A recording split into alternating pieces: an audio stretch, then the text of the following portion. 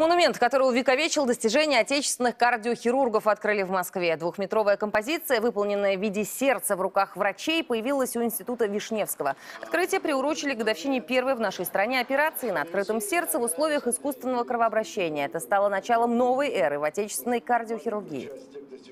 Мы открываем э, архитектурную композицию, которая посвящена 60-летию первой операции на открытом сердце в нашей стране, которая была выполнена ви- профессорами Вишневским и Бураковским в Институте хирургии имени Александра Васильевича Вишневского.